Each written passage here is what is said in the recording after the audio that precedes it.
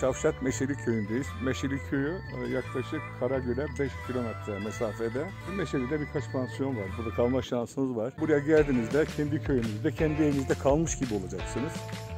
Kesinlikle tavsiye ederim. Efendim, Hoş geldin. hoş bulduk. Nasılsınız? İyi akşamlar.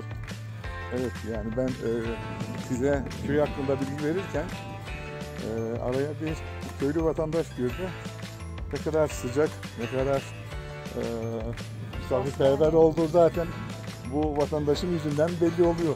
Dostane insanlar gerçekten. Bu köyün e, bir özelliği de okuma, e, yazma oranı yüzde yüz.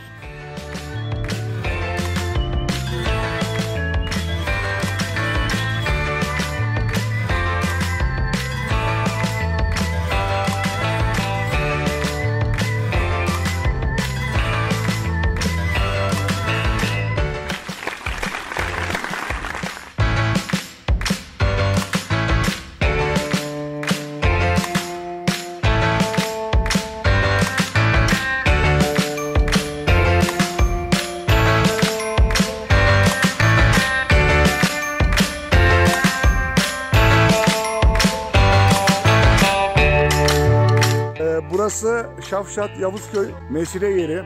Terasa gelip buradan nefis köy manzarasını izleyebilirsiniz.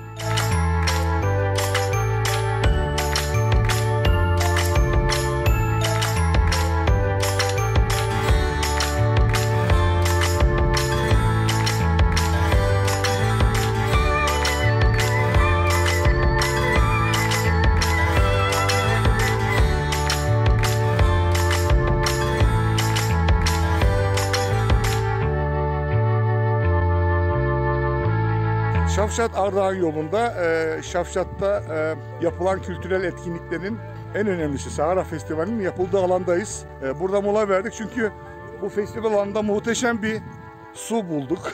Çok soğuk değil mi arkadaşlar? E, nefis bir su. Yani eğer su ihtiyacınız var ve bu yoldan geçiyorsanız mutlaka Sahara Festival alanından bu sudan için derim. Harika bir su. Çok ıslak. Yayla. Harika bir su değil mi? Tabii. Ya su çok ıslak. Islak. Kesinlikle doğru. Bye.